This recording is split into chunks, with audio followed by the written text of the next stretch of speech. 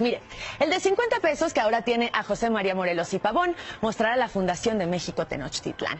El de 100 pesos que actualmente tiene la figura de Nezahualcóyotl cambiará por la de Sor Juana Inés de la Cruz. El de 200 pesos que actualmente tiene a Sor Juana Inés de la Cruz mostrará a Miguel Hidalgo y a José María Morelos y Pavón.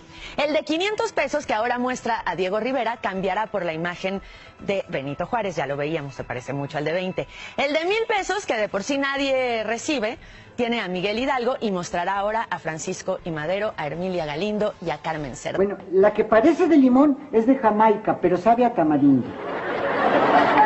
La que parece de Jamaica es de tamarindo, pero sabe a limón. Y la que parece de tamarindo es de limón, pero sabe a Jamaica.